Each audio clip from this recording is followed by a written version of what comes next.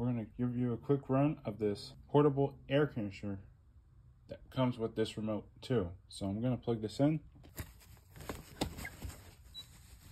Plugged in. As you guys can see, there's a green light, means that there's AC power getting flowed in to the machine.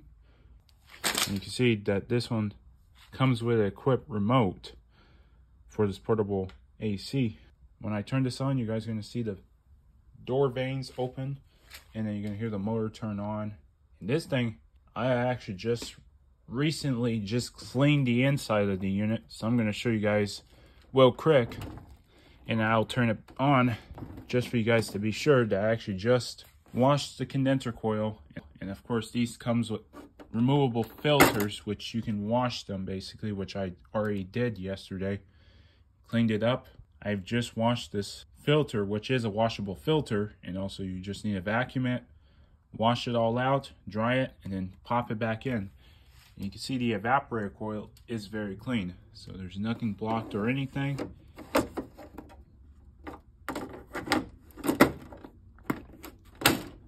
And this cover is easy to clean. Actually has a washable filter in it. Same with this one too. So I've cleaned both of them and this one is in good shape. This is manufactured from January 1st, 2016. And it's an R410A system with this one taking refrigerant R410A and show you what it does.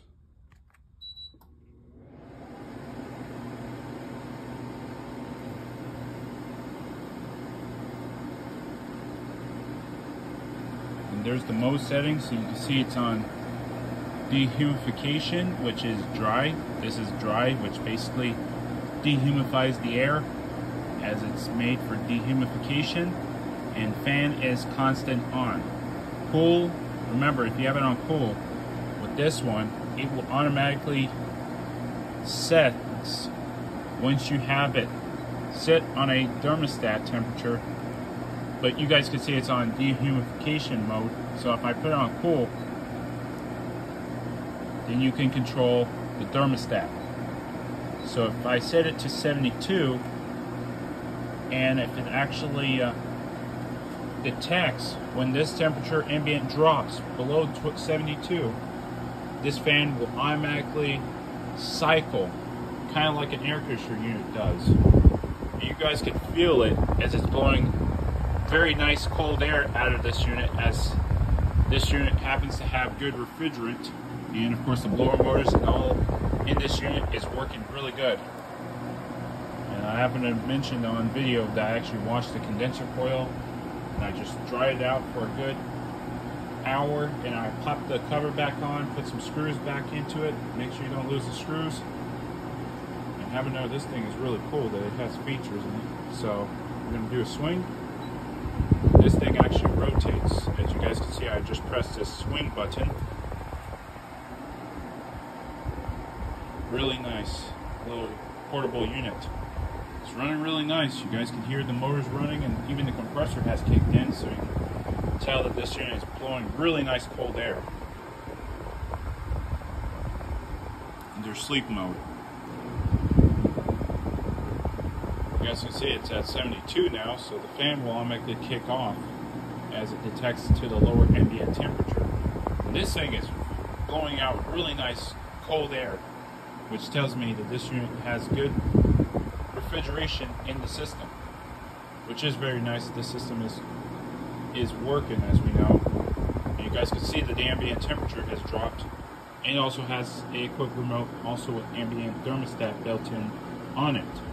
So if it detects your room temperature basically and if it gets a little too hot, this fan will communicate along with the remote. So if it finds the temperature ambient below this, the fan will automatically shut off. And there's the thermostat, high and low, which this unit is currently running perfectly. You can see there's three modes. See, there's the modes, cold, dry, and fan. Dry is dehumidification for removing high humidity. And cold is for cooling you in a hot summer day, basically. But that is also a little different than what dry is. But there's there's the two settings right here. You will tell. But cool is automatic. So once it finds that your room is too cold, the fan will automatically turn off. So apparently if I have it on cool mode, the thermostat will automatically kick over. But it's gonna run on fan still. And once it finds the room is getting a little warm, it's gonna kick on the fan and compressor. You guys can see there's the fan mode setting. If I click it, there's high, and there's medium and low. And remember, these remotes have this nice little programmable schedule and also has a time that knows on what you basically set for the system. Even if you have it on a timer schedule, this fan on this portable AC will automatically turn off. So you don't have to worry about having to turn it off manually and all that. This Hisense has really good features in this Hisense portable unit. This thermostat, very easy to adjust. Really cool little feature. And also you can do it with the remote even if you're in the in your bed. You just feel like you don't want to go out and turning on manually the portable AC. You can just use this remote.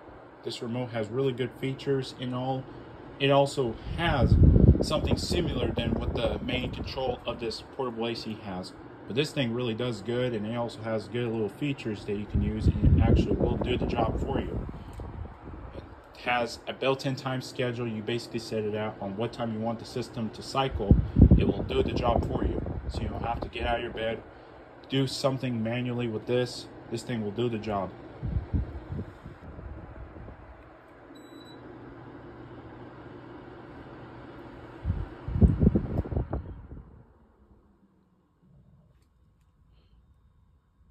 Nice and quiet unit as you guys heard when I start this unit up.